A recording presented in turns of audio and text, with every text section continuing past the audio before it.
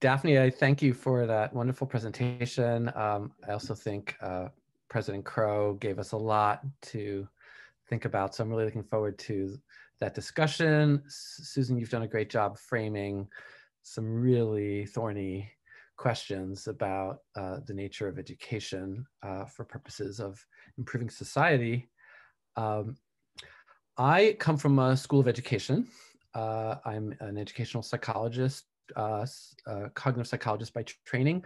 But before that, I was an engineer. And really, I uh, see many of the challenges of education in terms of engineering. So that's a, a bias I bring, but I hope um, you may recognize some ways this is helpful uh, after my presentation. Uh, I want to address the question of scale. And so I'm going to um, start showing my slides. Um,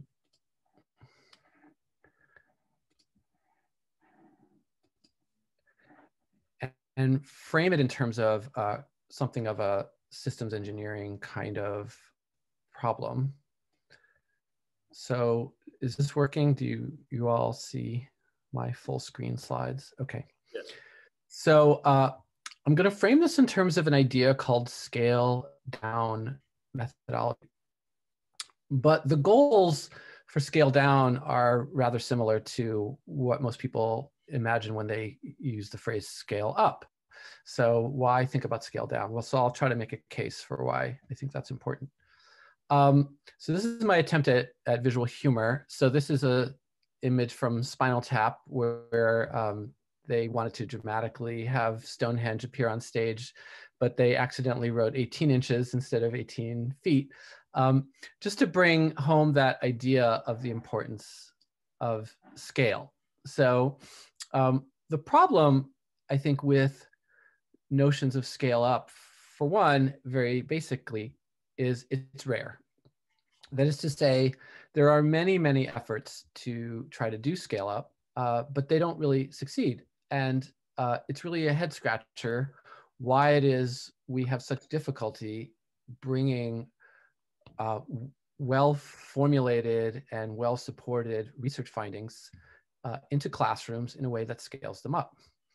And so my contention is that we probably have it wrong. And now we've seen many, many examples of an inability to successfully uh, scale it up in the sort of um, traditional way that we should think about new models.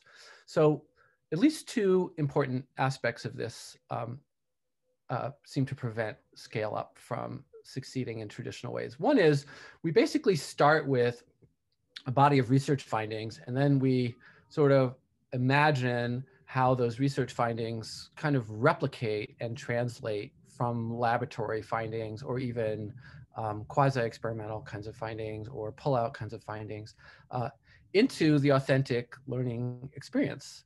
Um, but it turns out that um, in most cases, uh, there are so many local factors involved in implementing these things that are not part of the research and not part of the uh, the evidence uh, that lead to the design uh, that we're really only addressing, you know, this small component of what it means to have a successful educational intervention.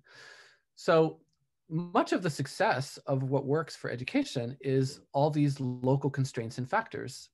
The other one is when we actually formulate theories of cognitions or theories of learning, those are not theories of instruction. Those are not theories of assessment. Those are not um, those do not address all the components that go into successful educational interventions. Theories of cognition, um, the way I like to describe it is it under constrains education design. And this is a fundamental problem, not just for education, this is a problem for all sciences. I mean, even think of something as basic as physics. We have, you know, uh, things as profound as Newton's laws, but Newton's laws don't tell us how to make a bridge how it should be designed, what its geometry should be, what its other qualities should be. It will tell us, you know, when they fail, why they fail. Um, so the design problem is different than the science problem. And this is why an engineering perspective uh, I think is valuable because engineering is really a design science and it really looks to bring in in an eclectic way findings of science but also principles of good design okay i'm not sure why my screen's not changing but there we go um, so uh, it will it, has been said today and will be said probably again and again um, that uh, when we look at learning especially learning in classrooms or any authentic setting it is a process that is occurring within a complex system. And so there are many considerations to take into account here. Um, that they're very dynamic, uh, as Susan mentioned, many interactive parts. Uh, they have non-deterministic behavior. They're adaptive to their environments and to the, um, the local constraints that are happening. So we now have a real challenge. We have an intervention that is prescribed by some set of research. Um, bring these to these authentic environments, the, the vast variety of them, as, as Susan again mentioned, um, exist, you know, with many components and many differences in the uh, local communities and the student makeup and the goals of the school and school district and things like that. Um, and so how do we start to uh, address the question of, you know, what is the nature of this learning process that's happening um, with all its complexity. Um, how do we get a handle on the kinds of changes we want to make and describe them? And we run into a problem that I think of as uh, the crisis of complexity. And the crisis of complexity is simply that we have um, either two seemingly very poor choices. On the one hand, we can understand the nature of these learning systems as uh, extremely complex, multifaceted, multi-layer systems and build like machine learning algorithms to understand all of uh, the complexities of these interactions. But then we're left with uh, a model and a description that no human being might be able to actually understand. Um, the kinds of regularities that these sort of models are going to be sensitive to aren't necessarily and often are not the kinds of complexity, the kinds of um, patterns that we uh, think of as human beings. We also don't do well as we get to very many dimensions. Once you get past, say, three or four dimensions, it's really hard for um, us as humans to really understand these models. So we can form models that might give fairly accurate accounts of what's happening uh, in these environments, but we don't understand them. And so then it's very hard to understand how to tweak them, understand how to describe them. Um, the other side of this crisis of complexity is that we make these human created models, um, but they're of such simplicity that we know they're wrong. We know they're absurdly um, simplistic.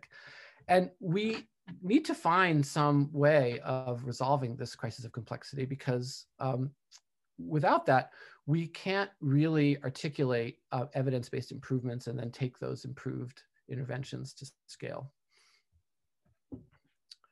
So scale down offers an alternative and it takes this engineering design kind of ethos uh, as its core way of thinking about it. And so what it does is essentially first acknowledges that there are successful and effective learning activities that are going on in authentic contexts. And and also identifies that there are maybe ways to improve those things. And we start with those complex interventions as they're happening in their authentic contexts we then want to understand how we can offer um, causal explanations of alternative designs that will lead to improved performance and this is where I like to make a distinction in research methods between um, elemental research methods and systemic research methods. So while my field often has this kind of qualitative research, quantitative research dichotomy, um, I don't like to follow that dichotomy very well because I think the point that is more central is that some research methods are elemental, which is to say they take a reductionist approach to things. They try to identify the various components and look at the influences of those components on system performance. And the alternative is a systemic kind of way where you take an entire thick description of these systems in a more holistic way. And the truth is there's tremendous value of both of these. You can actually show that there are both qualitative and quantitative methods that align with either elemental or systemic kinds of uh, approaches. So that's why I prefer to make this elemental or systemic distinction. And the key distinction between elemental and systemic research methods is something called the factoring assumption. So the factoring assumption basically says, I can make an assumption that there are separate identifiable um, malleable factors that I can talk about independently of the other factors that they operate with. And that is really a core idea to the elemental kind of research methods. And it's one of the reasons why it's very powerful in paradigms like experimental design, where you're trying to um, make causal inferences about the influences of specific factors. The systemic research methods reject this factoring assumption. They take the position that as soon as you start to pull any one of these factors away, um, be they demographic factors of students or factors of the learning environment or factors of the uh, learning activities, the curriculum, the teaching, and things like that. You've now so disrupted the system that you no longer can make generalizations about its behavior. So um, a really important idea in the scale down paradigm is to uh, find productive ways to integrate these elemental and systemic uh, research methods. So systemic research methods are going to be really effective, like say ethnographic account of how a certain kind of learning environment is operating um, and what all the participants are doing in it. But if you want to now start to make any kind of alterations, you need to be able to identify some kind of components that you could offer for as candidates for redesign. So this um, problem is one that has been solved in interesting ways um, historically. And so I want to bring up the example of the Wright brothers. So the Wright brothers um, have uh, left this really interesting legacy for us to reflect on, which is they were charged with um, coming up with human powered uh, air air systems right? They wanted to be able to essentially create human powered airplanes that could fly that could deal with these complex environments that they were trying to fly in and um, be able to control them and navigate them and you know successfully land them. And you know the history is pretty well known that they were extremely poorly funded version of trying to solve this problem. And yet they were more successful than efforts by, for example, Samuel Langley and those at the US Department of War, um, who were funded essentially unlimited amounts of funding. So what is it that the Wright brothers were able to do that um, Langley and that team uh, were less successful at? And this is uh, informed by work by Gary Bradshaw on uh, his research on these kind of historical events and on this notion of functional decomposition. So what the Wright brothers essentially recognized was, yes, we have this complex system that we need to figure out ways to uh, improve upon and design and then recreate and scale up. But there are some subsystems that can be thought of as um, somewhat separable. So they really are integral to the whole thing, but we can think of them in using Herb Simon's terminology as nearly decomposable systems. There are some subsystems where the interactions within those subsystems are far greater than the interactions those subsystems have with the rest of the system. And we can kind of temporarily suspend that full-blown system account by extracting one of these nearly decomposable subsystems, doing design work on those, but doing them in a way that creates some kind of reasonable facsimile to the authenticity of the complexity of the original system. So one of the brilliant insights was to say, let's take a let's take the wing system, right? Let's take that out of the entire aeronautic system and let's recreate some of the um, complexities of the authentic environment by using wind tunnels. Now, a wind tunnel is a device that existed before the Wright brothers engaged in this, but had never been used, as, I, as far as I can tell in my research, in this way. So, um, so what happens with the wind tunnel is, of course, you're able to essentially recreate a lot of the um, demands of the environment, and it let them start to play in a very low risk um, way with uh, wing shape and wing deformation as it was done using all sorts of cables and gears. Now, you may also know from the folklore that the Wright brothers um, weren't aeronautic engineers, they were bicycle mechanics and they ran a bicycle shop. Um, but this was perfect. They understood how to use uh, wires and gears and metal framing to create these kind of effects um, from all this expertise they brought to uh, to uh, bicycle mechanic work. And uh, this speaks a little bit to a point that Daphne was raising about um, the education system in Switzerland. You know, sometimes we lose we lose sight of the power of these vocational skills to make improvements, and it's also a point that has been made um, by others, which is we sometimes privilege uh, some notion of basic science um, without really appreciating that there many of the advances that have made in science were first engineering advancements before they ever became theoretical scientific advancements. So here's a really excellent case of this because when we contrast it to what was happening with the effort led by the Langley team, um, we see that they were proceeding with this kind of whole system point of view. They would build these entire aircraft they would fly them off these cliffs, the whole system would crash, and they would be left trying to do some kind of autopsy on what was wrong with that particular design. But the cost, of course, the iterative cycle time was enormous. Whereas the cost and the iterative cycle time for the Wright brothers was extremely small and very accessible for just two amateur aeronautics engineers, um, you know, doing this as kind of a hobby. So what also was amazing is the scientific contributions they were able to make. It turned out that all of the various teams across um, many nations were proceeding with the incorrect idea of the physical constant of lift. And it had been computed under certain circumstances that turned out to be inaccurate. And it was actually by um, using wind tunnels and doing all these wing deformations in these controlled environments um, that uh, the Wright brothers introduced these notions of these balances that they were able to collect really valuable data on the performance of these different wing geometries in these uh, wind circumstances. And they were able to correct the uh, physical constant of lift, and they were able to use that. That gave them enormous advantage um, over the other efforts to, um, to uh, make human-powered flight possible.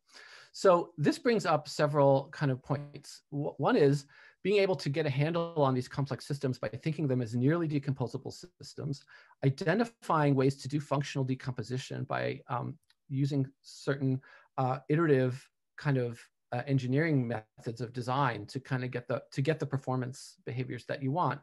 Um, recreating something that allows the uh, experience of this uh, functionally decomposed design so that it will scale back up into the entire system. And this is the power of the notion of the wind tunnel, and thereby preserve the local constraints and local complexities that you ultimately intend to um, want to affect.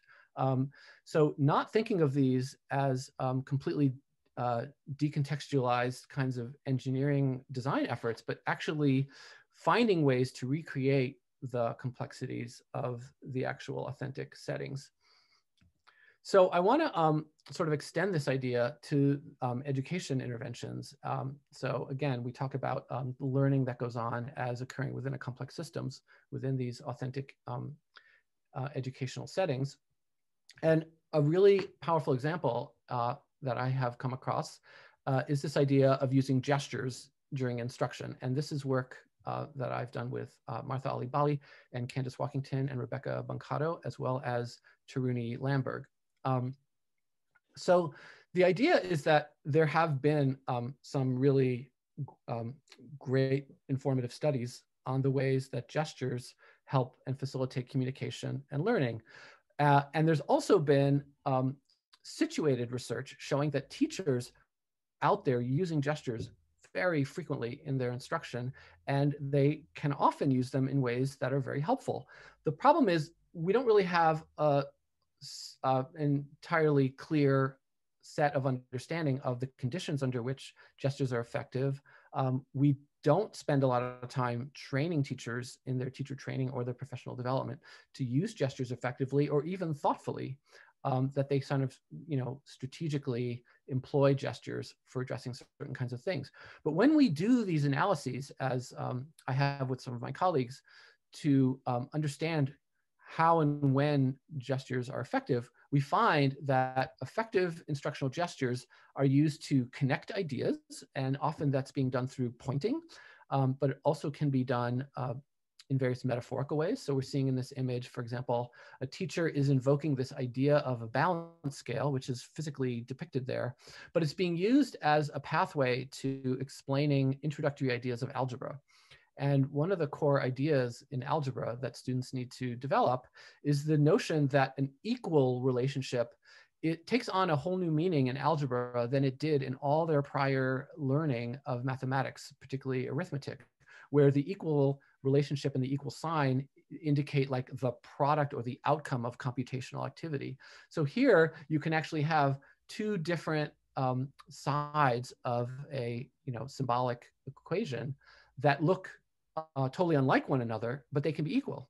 And um, what effective teachers can do is evoke these familiar ideas, and so thereby using um, what I call common ground to to rely on an understanding that students already have about um, balance and equal, and employ those for purposes of thinking about algebra. And so here in the second example, uh, we can see these two different depictions. This is from an actual classroom um, where um, a teacher is showing, oh, I've got these sort of objects arranged on this pan balance system, which is in, in a balanced state. And I can depict the, I can sort of shorthand depict these objects by literal symbols as shown below and write them as equations, write them as, for example, two spheres on one side of the balance scale, two cylinders in a sphere on the other side of the balance scale. And then students do have an intuitive understanding and the teacher invokes that understanding by grounding this abstraction by saying what happens when i pick up these two spheres at the exact same moment on both sides of this um, pan balance. And students do have the expectation that this system will maintain balance because you have removed two identical things. So then in the second panel um, underneath, the teacher shows, but I can now do this with the symbols too. I can literally just remove the two symbols. And so she's starting to introduce this idea of symbol manipulation um, as a way to bring about um, an understanding of early algebra. So we see how instructional gestures can be um, this very powerful way to connect ideas, to ground abstractions, and also establish common ground so that students can link this new learning experience to um, familiar ideas that they have in the world. Um, I'm going to show this very briefly. This is a, project I've been working on with Martha Alibali and uh, Voicu Popescu and a number of other scholars. And what it basically shows is sort of you know, a kind of version of a wind tunnel, right? So what do we want to do now? We want to be able to take these authentic practices that are occurring in these um, complex learning situations and start to show, um, identify what are the causal aspects of these practices um, that we want to make sure we scale up and perhaps even you know teach to teachers and perhaps even gain improvements on them. And so we um, for many years would hire teachers to do various versions of these different lessons and try to get them to for example only point at so this is a case of a polynomial uh, multiplication lesson and it's using the area model of rectangles as a way to provide a grounding of this abstract symbolic idea by using uh, the multiplication that you can do for areas and the summation of the different different sub areas as another way to think about, for example, FOIL, um, which is a first out, inner last kind of way of doing polynomial multiplication. So as you like explore this, you realize, well, is it that the teachers point to the symbols? Is it that the teachers point to the rectangle? Is it that the teachers link the symbols to the rectangles? You know, is it about eye gaze? Maybe not about their gesturing. Um, there are many other facets uh, that one can do. And when you try to hire actors to perform these, uh, you can make videotapes and you can you know match up the video the audio signals so that you can um, approximate these but it is extremely demanding activity to try to do and there are certain limits for example it's very difficult to um, to disentangle eye gaze from uh, pointing gestures. Um, and so what we started to do was develop uh, these, uh, these virtual avatars, uh, these pedagogical agents, where we could develop a lot of control uh, for these experimental studies. And then we create kind of microcosm classrooms where we bring, say, six or eight students into a room at a time. They learn this lesson over video, and I'm just going to play this for you, and hopefully the audio will come across. Um, the audio is going to be the same for all of these, and it's showing the variety the of gestures. Corresponds to the length 2x plus 5 in the rectangle. And x plus 2 in the equation corresponds to the width x plus 2 in the rectangle. So you can see here that the um, avatar agent is employing different ways of using gesture, and we use that to try to disentangle um, these ideas. So here's an example of creating a kind of wind tunnel, creating these kind of simulated classrooms and simulated pedagogy to get at elementally um, what might be the, the more controlled and important factors. Um, so let me go to the next screen. So um, we can scale this up to actual classroom practices. Um, as we have been doing, and shows that teachers can be um, employing gestures effectively. Um, this is a screenshot uh, from a uh, integrated STEM class, and this is part of the uh, Nevada Mathematics Project that's going on. Uh, uh, that's uh, directed by Teruni Lamberg at the University of Nevada that I participate in. And what we've done is take these um, tested principles of instructional gesture and brought them into teacher professional development and not just summer um, kind of interventions, which uh, are important for sustained time, but that teachers then are uh, participating in professional learning communities throughout their school year. And they're constantly reflecting on their practices for uh, effectively providing integrated STEM instruction. In this case, the integration is primarily in areas of nanotechnology and then the mathematics areas of measurement and geometry, and showing that you can teach these integrative lessons um, more effect and as a more effective way to help students understand uh, either math or science by bringing them together and then using gestures effectively to provide that uh, support for common ground for uh, grounding abstractions uh, and for directing students' attention to all the important aspects of a lesson. So this process went through a significant redesign over several years. Um, and we worked with these professional learning communities throughout the state of Nevada, and we were able to draw teachers in from every school in the state. Uh, so we had a long-term participation from 140 teachers, and these reached um, over 12,000 students so what we found, and you can imagine, this is a for people who know Nevada, it's a very large state and it's very uh, sparsely populated. Um, that there's enormous uh, demands for teachers in that state to get high quality teacher professional development. Um, we use a lot of online community support here. So this is, of course, a call out to uh, President Crow that um, this is you know vital for this kind of environment. Um, even so, Teruni and her team uh, drive thousands of miles every summer to reach and make contact with each of these separate um, sub communities um, so that they also have that uh, personal connection. Um, so what we've done is we've we've um, looked at, for example, videos and also journals of a subset of the teachers who are enrolled in this project and um, seen that the teachers start to develop awareness of their own uses of body language while they're doing instruction and they reflect on these things they have conversations about them with their colleagues um, and then they start to realize themselves that gestures are being used in a couple of core different ways um, for example for communicating ideas um, or for supporting cognition or supporting motivation. And so we see that teachers are gaining an understanding of um, effective uses of these gestures through their own and through participation in this uh, professional learning community. And it's all sort of founded on these essential principles that came out of um, first observing them in a systemic form as they were actually used in classrooms, and then the elemental research that allowed us to identify some of the causal factors that make gestures most effective. So what are some of the downsides? Well, one in particular is this idea that Ann Brown has brought to our attention, which is this notion of lethal mutations. So as soon as you start to scale these things up and take them outside of the confines of these um, close uh, research programs, you find that teachers and all sorts of educators and also um, you know curriculum developers and all the, the practitioners involved in education can have all sorts of different interpretations of what it means to adhere to certain kinds of educational principles. For example, uh, one lethal mutation you might imagine is every single concept, every single lesson, every single instructional activity I do needs to involve gesture. Like that would not be an unreasonable takeaway that a, a teacher might sort of imagine is true. And that isn't a principle we've ever articulated, and it's not something I believe is, is accurate. But these are the kind of things we have to constantly be monitoring. So what's also important here is developing these long-term and well-regulated teacher researcher partnerships.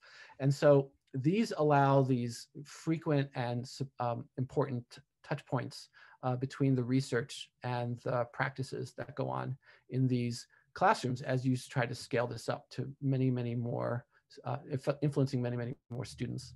Um, so what's also important about those is there's a lot to be learned on the research side of how these different um, practices and different principles uh, evolve in under different local constraints. And that is a really useful element to informing the theory. So it's a little bit like um, the Wright brothers learning a better lesson on how the physical constant of lift really operated. Um, so we need these relationships ultimately to inform the uh, and feed back into the theory. Um, so um, I guess um, a couple takeaways is one, um, I want to put out there that we um, care a great deal about this idea of scaling up educational interventions. We spend an enormous amount of research dollars and intellectual effort to uh, understand learning and teaching and try to come up with uh, theoretically sound and empirically uh, rooted uh, uh, methods. But we don't have good um, approaches yet to scale them up. Scale down is an alternative. Scale down is something that um, is baked into it is the idea of preserving local constraints and uh, a fundamental way of integrating systemic and elemental research. Um, it takes an engineering design approach to this. So it, it, it conceptualizes it all as uh, in terms of functional decomposition and an iterative design process. So it's not just taking science and applying science directly and then saying, you know, it failed or the, or the participants failed us. Um, it's really that engineering design is really about this iterative process of fitting um, these scientifically, uh, empirically rooted uh, practices and principles to the local environments in which they operate. And it really um, acknowledges the importance of teacher researcher partnerships um, and also thinking about how together you can create these versions of education wind tunnels. So thank you.